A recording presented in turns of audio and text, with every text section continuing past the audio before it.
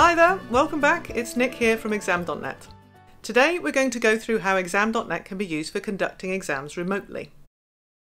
While exam.net was originally built for the classroom, and that's how I first started using it, it's well adapted for conducting exams remotely, as many teachers have discovered over the past couple of years.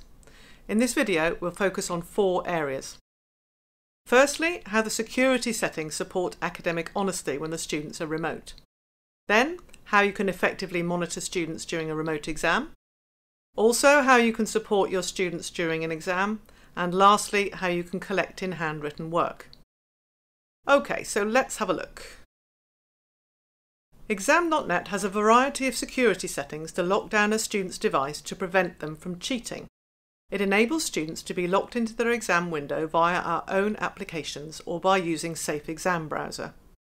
This is supported across all popular devices such as Chromebooks, Macs, iPads and PCs. We have a whole video that goes into detail on security, so I'm not going to repeat that here, but do take a look at the video Academic Honesty Security Levels for Cheat Prevention. In a remote setting, locking down a student's device isn't always enough since students could try referring to material not on their computer.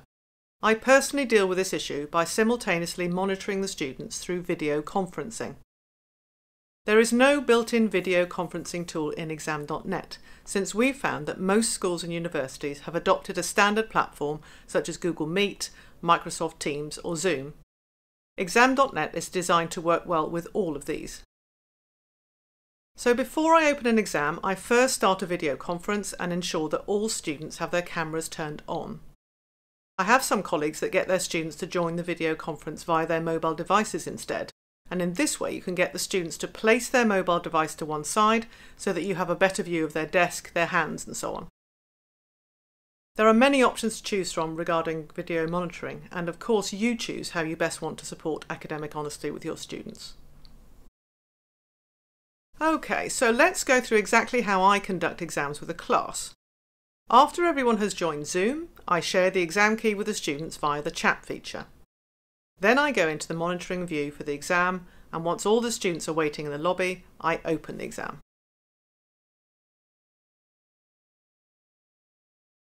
Zoom will continue to run in the background on the students' computers, and during the exam the students will not be able to see their Zoom window as their exam windows are in full screen mode. To minimise disruptions and noise, I typically put all the students on mute in Zoom and then bring up exam.net's chat window by clicking here. The chat function in exam.net was actually developed for exactly this situation. Since exam.net locks the students into their exam window, they cannot access the video conferencing chat at all. The built-in chat function in exam.net is therefore the best way to communicate with individual students. It also allows you to communicate with the whole class at once if you need to. I also make sure that my system notifications are enabled by clicking on the bell icon in the upper right corner in the monitoring view. Now I can have my video conferencing window frontmost on my screen so I can monitor the students, and I'll be notified if a student sends a chat message or submits their exam, for example. If I want to check on how students are progressing through the exam, I can see that in the exam.net monitoring window by clicking on an individual student. I go over this in more depth in our training video on monitoring and supporting students during exams. That video has an overview of various options that are just as relevant for remote exams. For instance, I can close the exam for all students when the time is up. I can also accommodate individual students' needs by giving them extra time or special tools such as text-to-speech or translation options. When conducting remote exams, I usually make sure that the students are required to fill in their phone number when entering the exam. As I said, you will be able to communicate with your students through the built-in chat, but sometimes we might need a plan B, and so this gives you the option to call them. So, when you create your test, in the section Student Information, Make sure that you ask your students for their phone number as a required field. This way you will have each student's phone number clearly visible in the monitoring view just in case. You may be wondering how you can collect in handwritten work for students taking an exam remotely. And of course, exam.net has a really smooth solution for this. When you set up an exam, make sure to select the option Scan Handwritten Work with a mobile phone. This allows the students to take pictures of handwritten work and attach them to their exam.net answer sheet. The image is sent directly to their exam and is not saved on the phone. Being a maths teacher myself, I know that it's usually easier for students to show their knowledge by writing their solutions by hand, even if there are formula editors and graph tools built into exam.net. I'm going to show you how this works for a student. First, they click Scan Work in the left-hand menu.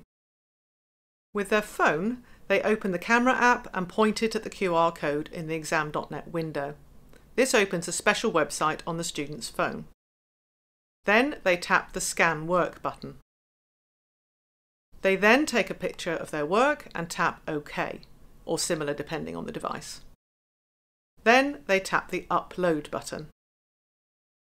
If the exam is auto-marked, they also need to choose the question where the scan should be saved. If the exam is not auto-marked, the image will appear in the image library on the left-hand side of the screen. And, auto-magically, that picture is attached to the student's exam.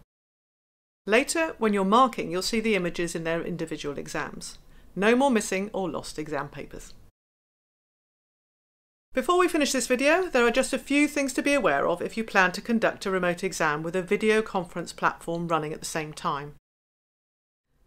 If you want to use high security mode in exam.net together with a video conferencing tool, we recommend that the students run the video conference in their web browser rather than using desktop apps, which may interfere with the lockdown application. For video conferencing to work on Chromebooks, you'll need to make sure to choose the lower security mode when creating your exam. If your students are using iPads, unfortunately it's not possible to also run a video conference on the same device, since iPads cannot run two parallel applications in the same way that computers can. Currently, the only option if you want to be able to see your students will be to use another device such as a mobile phone connected to the video conference. I wish you the best of luck with your remote exams and thanks for watching this video. If you have a colleague interested in using exam.net, it's really easy to invite them in to try it out. Just go to the My School tab and find the section Invite Colleague.